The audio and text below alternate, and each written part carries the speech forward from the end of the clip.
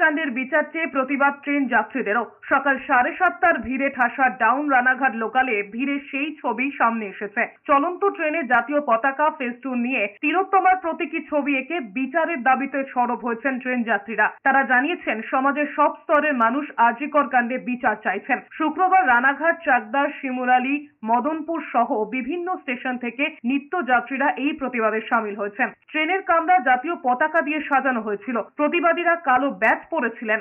একটাই আশা, একটাই আকাঙ্ক্ষা যে আমাদের যে বোনটি, যে মেয়েটি এই পৈশাচিক অত্যাচার অত্যাচারের শিকার হলো, সে যেন সঠিক সুবিচার পায়।